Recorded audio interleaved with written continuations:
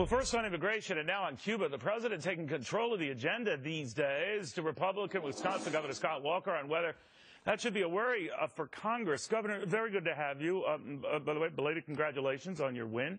Thank you. Uh, good to be with you, Neil. Uh, what do you make of this? Because if you look at all the papers, read all the press, the president uh, is controlling the agenda of late, and these initiatives on his own are, are, are, are, are all anyone talks about. What, what, uh, what do you make of all of that?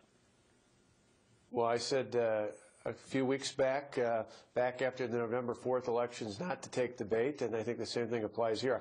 First off, I agree with Marco Rubio. This is a bad idea what he's doing with Cuba, but right after the elections, about two weeks out, he was pushing this change, uh, which I think is is uh, goes far beyond just uh, uh, immigration issue. It goes to the rule of law, and it's why I joined with other states in challenging that in court. But but really, what's happening more than anything is the president has gone from the audacity of hope to the audacity of the power grab. He's trying to take the attention off the fact that his policies were clearly on the ballot on November 4th. He himself said it, and he lost overwhelmingly, even in states he had won in the past. I think Republicans would fare well to be out front, aggressively pushing a pro-growth agenda uh, that got them elected in the first place instead of being on their heels responding to this president. All right. Now, in the meantime, when they take control of the Senate, what's the first thing you would recommend they do?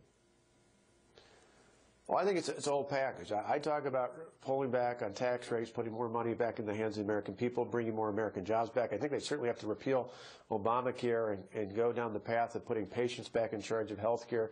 I think they have to reexert their authority.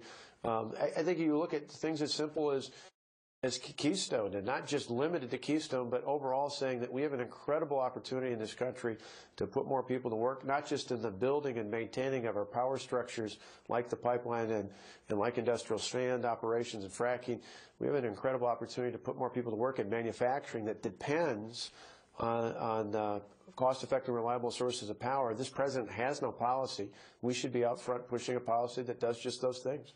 Um, you mentioned Marco Rubio on this Cuba uh, thing, uh, Governor. Uh, Rand Paul is, was questioned on the same subject and said it's probably a good idea.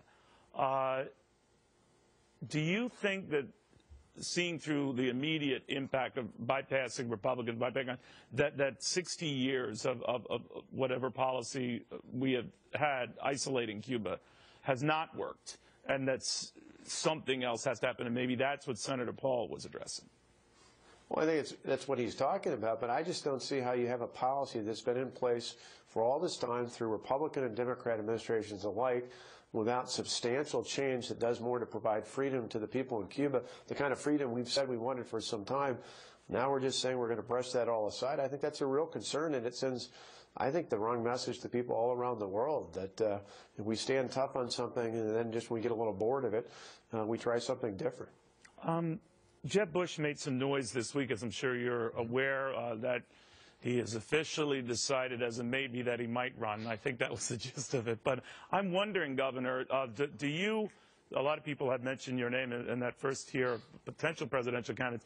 Do you or your people feel any added pressure when an announcement like that is made? Uh, if, if for no other reason than the attention it gets from donors? No, I mean, in the end, I, Jeb's a, a, good friend of mine. I like the work he did in Florida. I like him personally, but uh, his decision is not going to have an impact on me one way or the other both in terms of the decision itself uh, in the future or in terms of the time frame. In my case, I've got a state to get prepared to, to lead uh, again for a second term. It feels like it's the third term, but it's only the third election in four years, but it's the second true term. Uh, we've got a budget to come out with, a new legislative agenda.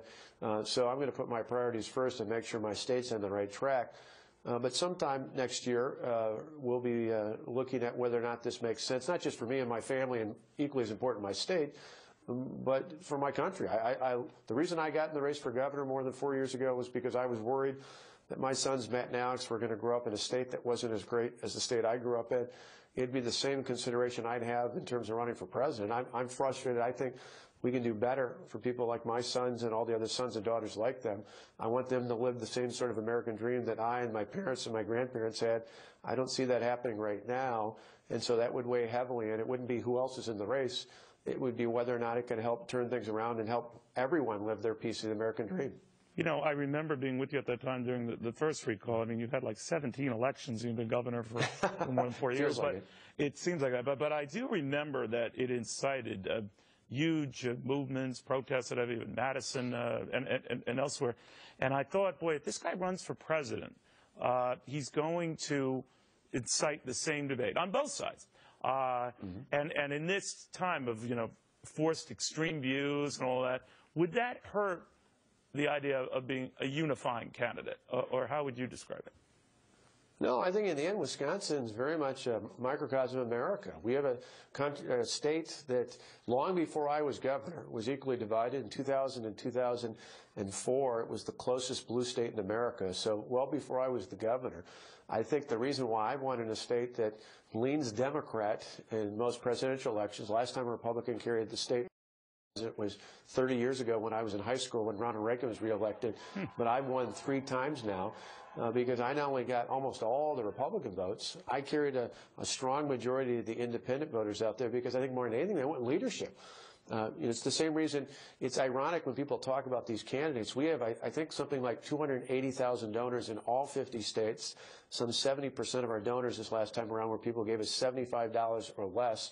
We certainly got a lot of help from big donors across the country, but most of our money, percentage-wise, uh, came from people giving us that 25 50 uh, $75 donation. No, no, no doubt, Governor, but I guess what I was getting at, I, I apologize, what I was getting at, maybe clumsily, is that the, the, the targeting for you would be he's the anti-working man, he's the anti-union guy, he's the anti-stiff on the street. How do you answer that? Oh, I think it's easy. It's the same reason why I took, even in that recall you came in for, I took almost 40% of the self-identified union households. Why?